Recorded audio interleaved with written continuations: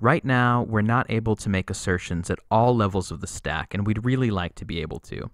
Because when breakdowns happen, we want to know why they happened and where they happened. Is something not painted on the UI because of a UI issue? Or is it because of the underlying representation in the Redux store? Right now, we don't know because we can't make any assertions on our front end stores of any kind. So let's go ahead and make that possible. We'll start by opening src slash index, which is where in our application we've defined the store. We'll say if window.cypress, which means we're in a Cypress testing environment. Then we know we're safe to expose the store on the window. Cypress actually exposes the window as cy.window, which will help us access it. So remember that Cypress code is asynchronous, and we don't just have access to window here.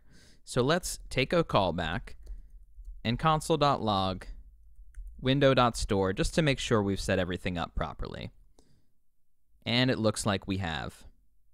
Cypress actually exposes a way to access these properties by using its, so we can say its store.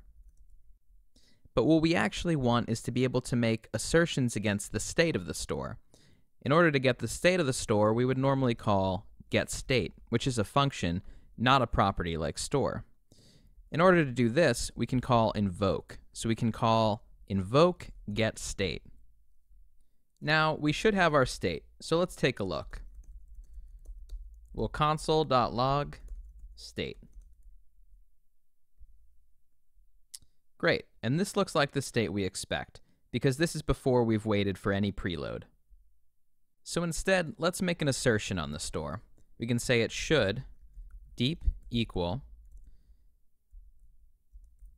to-dos, which will have the state of the to-dos array, and visibility filter, which will be show all.